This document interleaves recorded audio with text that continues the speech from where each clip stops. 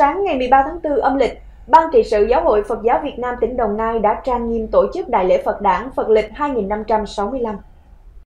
Hòa trong không khí hân hoan của cả nước, đón mừng ngày kỷ niệm Đức Phật Thích Ca Mâu Ni đản sanh, Hòa thượng Thích Nhật Quang, ủy viên thường trực Hội đồng trị sự, trưởng ban ban trị sự Giáo hội Phật giáo Việt Nam tỉnh Đồng Nai cùng chư tôn đức ban trị sự Phật giáo tỉnh đã niêm hương đảnh lễ và cầu nguyện mười phương chư Phật gia hộ đất nước được thái bình, đại dịch Covid-19 sớm qua đi, đem lại lợi ích cho chúng sanh và muôn loài.